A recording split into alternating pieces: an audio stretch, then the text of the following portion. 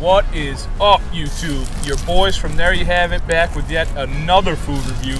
This time, we're thinking outside the bun. We got a little Taco Bell. Yeah. Okay. You right? All right. Yeah. Um, this is the re-release of the Quesalupa.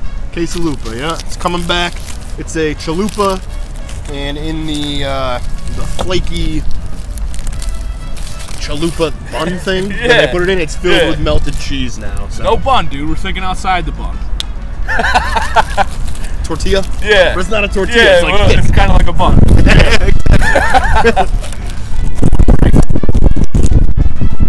Your boys always out here doing it rain, shine, wind, snow, sleet.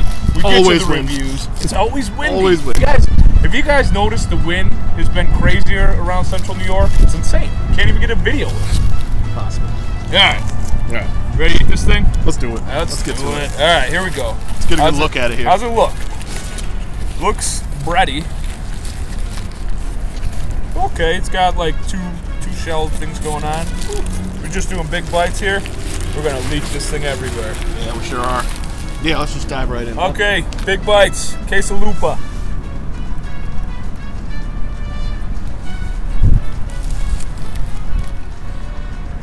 Not bad. The one thing I didn't, you know, on the commercial, they kind of get a cheese pull on the shell. I didn't get any of that. No. So, chalupa is one of my go-tos Yeah. at Taco Bell. This is uh, it's delicious because it tastes exactly like a chalupa. There's there's nothing really special about this here. I would Okay. say nothing special. It's kind of a regular chalupa. Gimmicky. If I ordered a chalupa and they gave me this, I would think nothing was wrong. Fair enough. The Quesalupa from Taco Bell, it's just a chalupa. That being said, it's not bad. You know, No, no, no. it's your classic Taco Bell. Yeah, I'm getting like almost no cheese coming out of the uh, the flaky. No, What is this thing called? We get a name on it? the Quesalupa. The the thing that it's wrapped in. Oh It's not a tortilla. no, what is it? Kind of like a bun.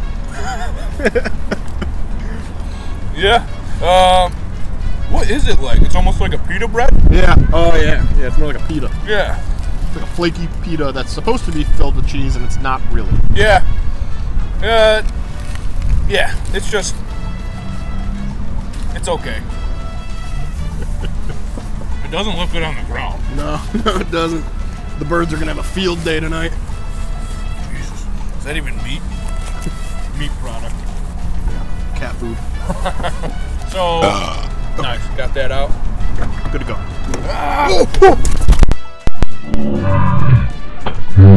Yeah, we are back up and running after a little bit of a technical difficulty. Um, phone went down on us. Whole, whole The wind, man, it's the wind. Yeah, it's crazy. It out was the door.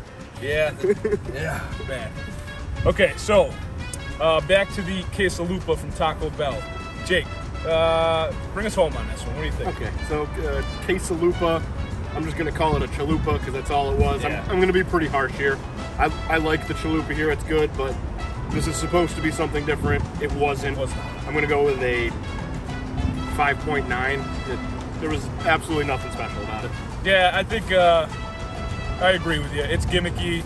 You know, they're just trying to get you out here. Uh, quesalupa, 5.5 for me. I, you know, it's Taco Bell. Uh, if you like quesalupas, come out and try or chalupas. If you like chalupas, come out and try it. I don't, I don't know. It's, it's not worth it. There you have it. Taco Bell quesalupa. Thanks for watching. Peace.